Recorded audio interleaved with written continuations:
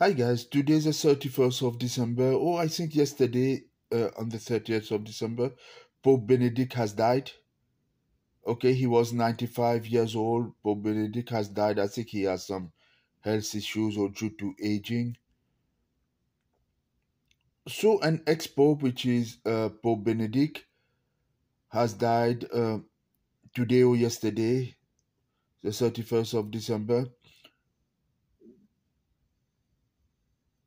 And the reason is, I think, due to health issues or aging.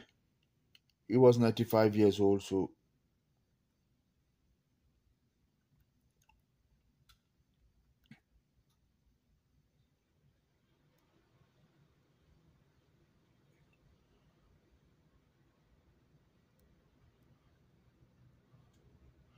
okay, you guys must have read it by now.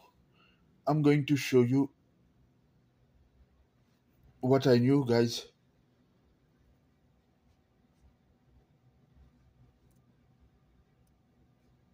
The title is Pope Death. Okay, and this I dream it on the 19th of June 2020.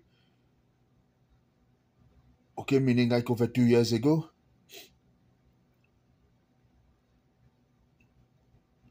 I did not know the name of the Pope. I don't know much about their name. Anyway, I don't even remember their face properly. So in my dream, I could not figure out which Pope is that that's going to die.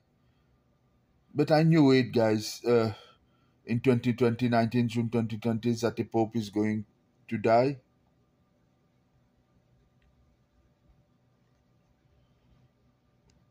So see, this is just a simple example. What happened in my brain? I see the future. Everything in the future come come to me first, and then I document it. And when it happened, I do video. So here you can see my cursor here. I'm filming it directly from my laptop.